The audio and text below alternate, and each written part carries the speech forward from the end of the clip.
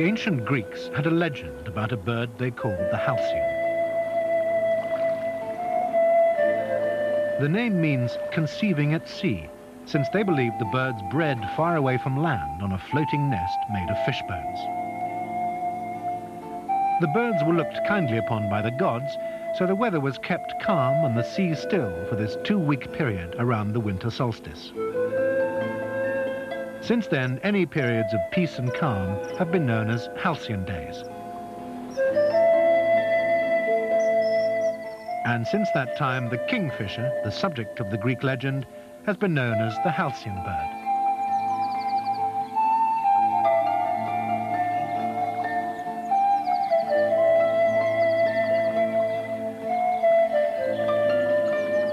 The kingfisher is one of Britain's most dazzling birds, although it's usually seen as little more than a blur of brilliant colours as it flies low over the water. The common kingfisher lives and fishes along sheltered rivers and streams throughout Europe. Throughout the world, there are over 80 species of kingfisher.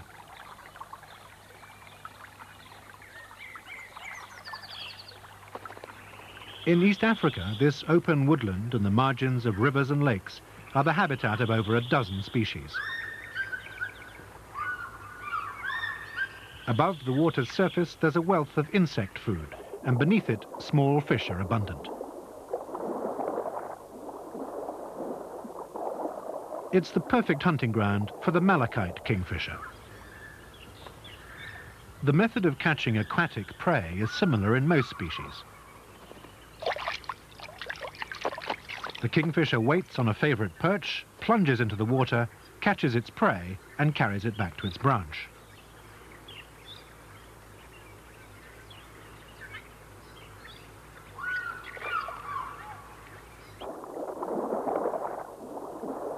A second dive, once again in slow motion.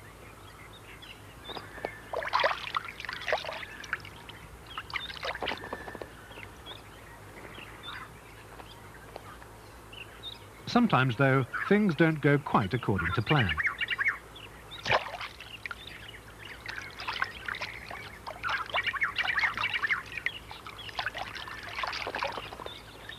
The malachite is a close relative of the European kingfisher and is one of the smallest in Africa. It takes its name from its bright blue speckled crest. To the human eye, the male and female are identical, but during the breeding season, the male malachite has no difficulty in identifying a mate.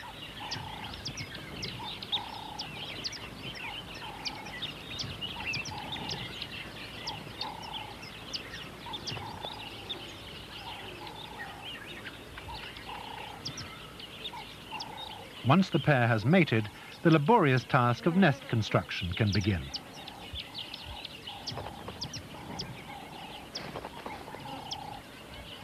It may take them several weeks to complete the three-foot burrow, and they may dig and abandon several tunnels before they settle down to nest.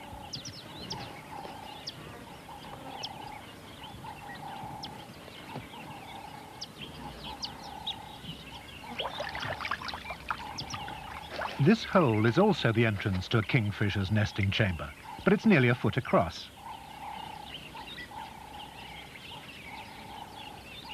It's the burrow of the giant kingfisher. With a beak and tail length of 16 inches, this is the largest of Africa's kingfishers.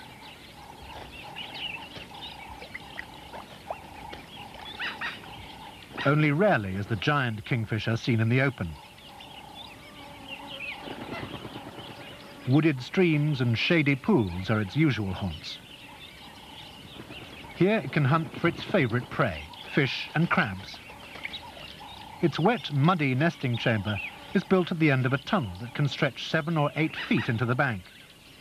The African pygmy kingfisher, unlike its giant relative, rarely enters the water. It spends most of its time hidden deep in the bushes. Even this diminutive creature, it's one of the world's smallest kingfishers, constructs a nesting burrow where it will raise its young on a diet of insects. Meanwhile, the eggs of the malachite have hatched, and the parent's exhausting task of finding a constant supply of food for the chicks has begun. Perhaps fortunately for the adult birds, only two of their young have survived. The usual brood is five or six. But even with only two hungry mouths to feed, the malachites have a full-time job. The chicks, like those of most kingfishers, don't all hatch at the same time, so there can be a considerable size difference within the brood. The rows of head feathers on this chick are just visible beneath the skin, while those of its nestmate have already broken through.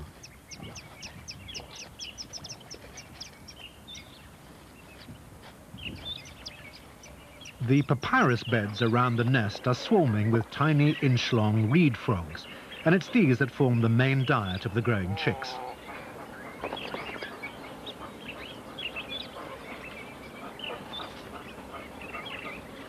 Frog after frog, as well as the occasional tadpole, is delivered to the nest and the chicks grow rapidly. At just over three weeks, the bedraggled young are ready to leave their burrow although they'll still be dependent upon their parents for quite some time. They'll continue to be fed by the adults until they've learnt to fish for themselves.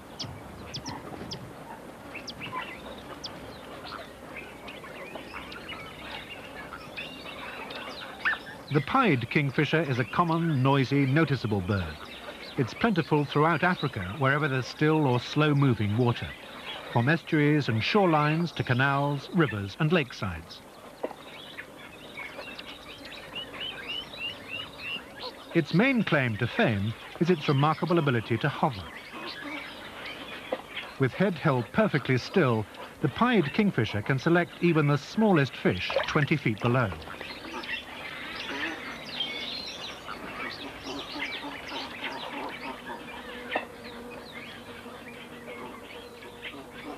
It hits the water with open bill, ready to seize its quarry.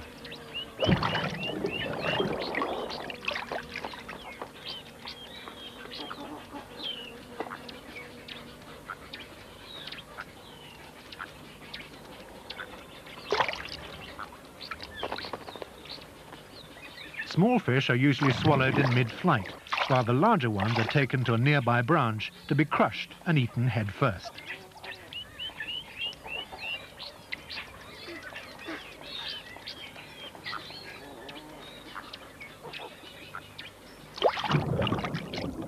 Apart from fish, it also takes frogs, shrimps and insects. Occasionally, it will hover over dry land, hunting for grasshoppers. Over most of its range, the pied kingfisher is found singly or in pairs. But in East Africa, around the Great Lakes, loose colonies of a hundred or so pairs are not unusual. The pied is the only black and white kingfisher, and is one of the few species where the sexes are easily recognized. The male has one broad and one narrow black stripe across his white chest. The female only has the broad band. The pied kingfisher, although certainly not the most colourful of its family, is a highly adapted member of the fishing kingfishers. There is a second group, the so-called forest kingfishers, that only rarely, if ever, enter the water. The grey-headed is a typical forest kingfisher. Unlike the long, sharp beak of the pied, the grey-headed's beak is short and thick. It's ideally suited for dealing with the insects, mice and reptiles on which it feeds. Rather than nesting in holes along the river bank, the forest kingfisher tends to nest above ground. A grey woodpecker hunts for insects in a dead tree. It excavates nest holes in the same way, and once abandoned, these provide an ideal place for the woodland kingfisher to nest. The adults are hunting for food. Back at the nest hole, their young are already well developed. Insects, especially dragonflies, are eaten in large numbers, and the parents have to maintain a constant supply to satisfy those ever-open mouths. Within a few weeks, the chicks will have developed the brilliant grey and cobalt blue coloration of their parents and will begin hunting for themselves.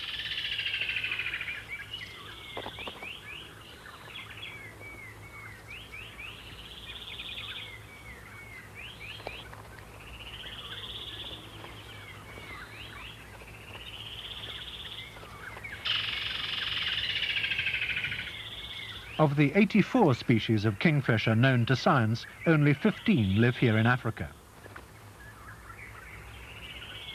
Further east, through Asia and Australia, live some 60 species.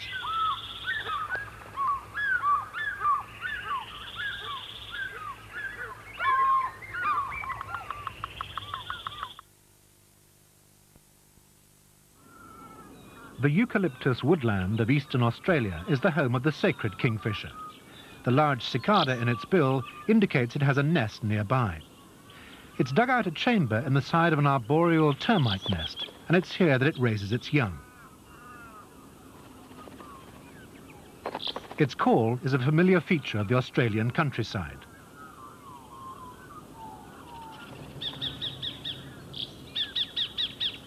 But when it comes to Australian bird calls, there's none as famous as that of the laughing kookaburra. This enormous kingfisher, it's the world's largest, has a wingspan of over two and a half feet. Despite its appearance to the contrary, the kookaburra is in fact a highly intelligent bird. Like its smaller relatives, it too breeds in termite nests. It has a thick, powerful beak and takes large numbers of rodents, lizards and small birds. The kookaburra's reputation for killing snakes is well founded. They'll eat any that they can overpower, even poisonous ones. This highly predatory way of life occasionally has its repercussions.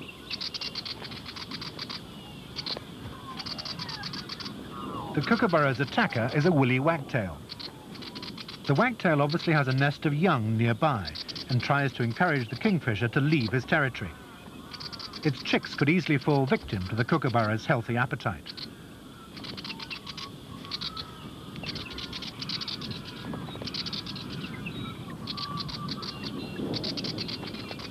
When the kookaburra finally decides to leave, the wagtail goes with him, piggyback.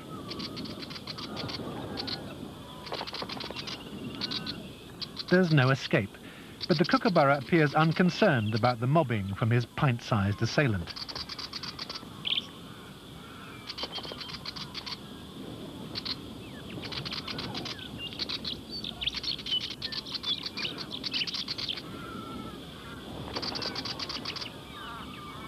Eventually, the wagtail gives up and returns to its nest to brood its young.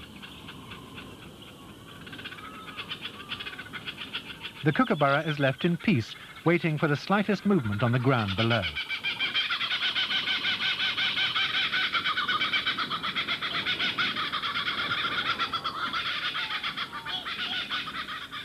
The rivers of Indonesia are just one of the haunts of the collared kingfisher, a close relative of the Australian sacred kingfisher. It feeds mainly on insects and crabs that it finds in the mangrove swamps. It's sometimes known as the mangrove kingfisher. It's one of the most wide-ranging of all kingfishers, extending from the coast to northeast Africa, the shores of India, through Indonesia, Australia, and across the Pacific to Samoa.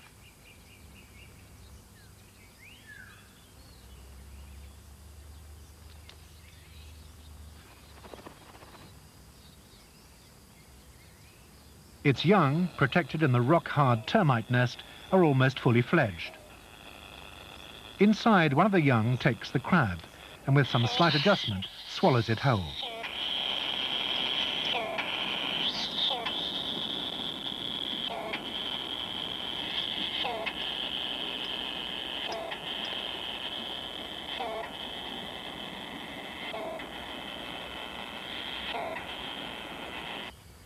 The parents have little say in which chick eats what. They simply keep passing food through the hole. It's up to the chicks to sort themselves out and make sure each gets its fair share.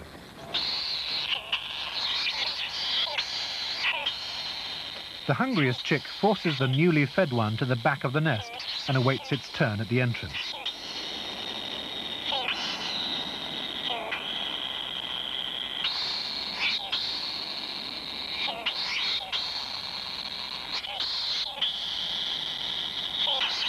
it doesn't have very long to wait.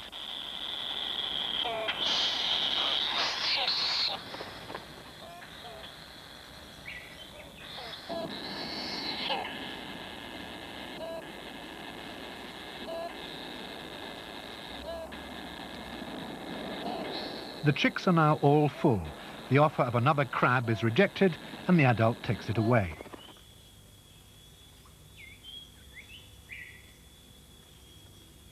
The hard remains of the crabs have to be coughed up in the form of a pellet.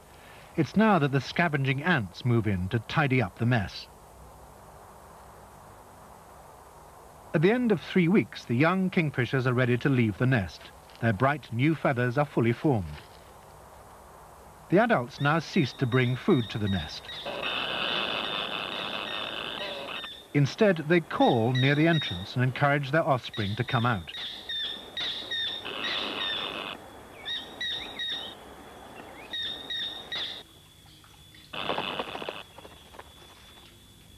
But the parents' job isn't over yet. The young still have to rely on them for food for the next few weeks.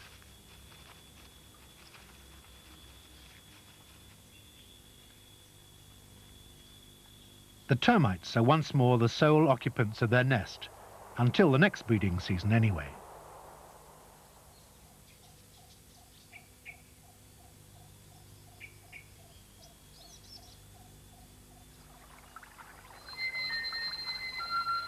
The overgrown rivers and streams of Indonesia and Southeast Asia are the home of a large and varied collection of kingfishers.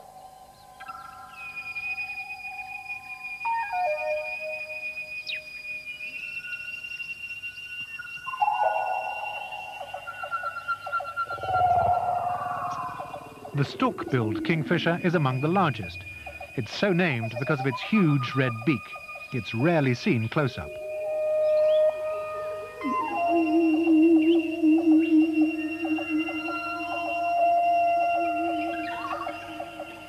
It's more usually seen in flight as a dash of colour amid the dense vegetation.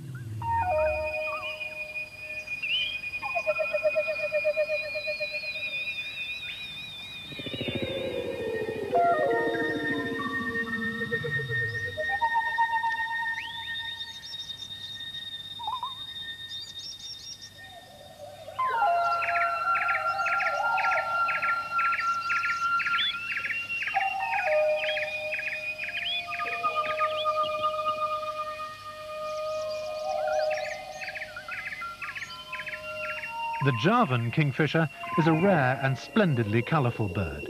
As its name suggests, it's unique to the island of Java.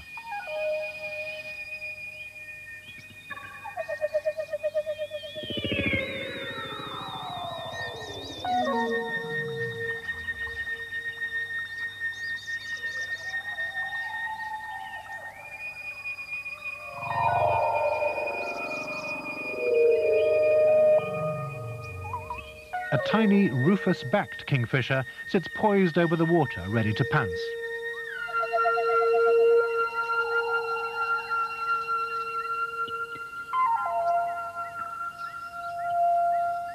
Although its large beak is typical of the forest kingfishers, the rufous-backed prefers to feed on fish.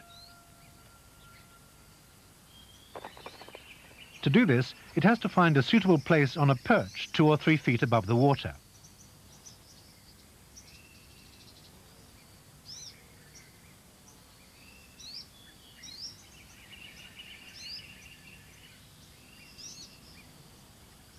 The wing flaps serve not only to assist in its balance, but to encourage any fish below to move and show its presence.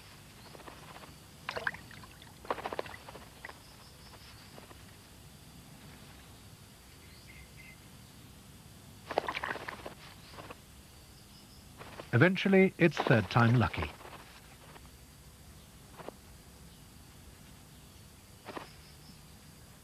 A quick shake and its feathers are almost dry.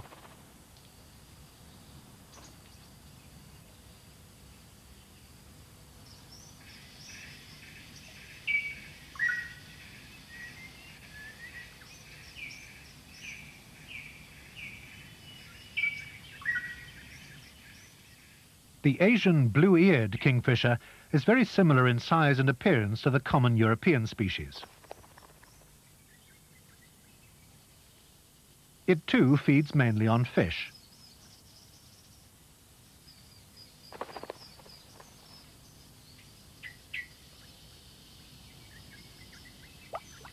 It uses the same method of fishing as the rufous-backed.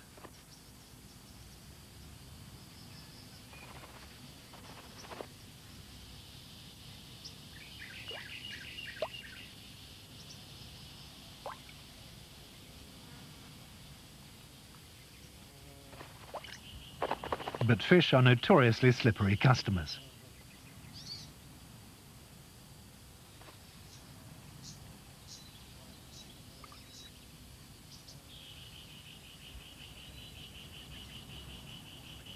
This time, there's no mistake.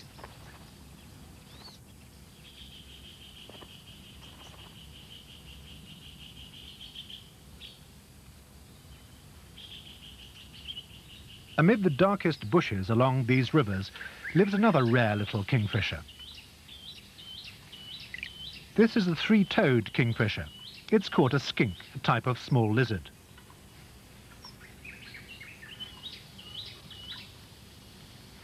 All kingfishers like to make sure their larger prey is dead, or at least immobile, before swallowing it, invariably head first.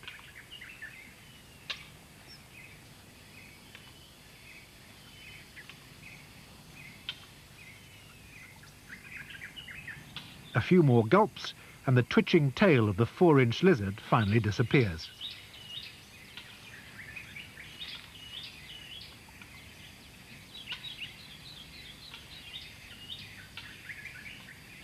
It's along these Asian rivers and waterways that we can find a familiar creature.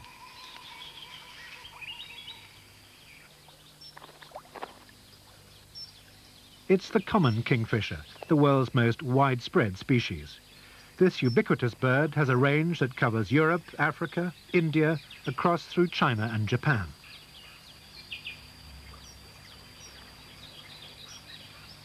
Its bright colours add a sparkle to any waterside scene. It's easy to see why the Greek gods look kindly upon the kingfisher, the halcyon bird.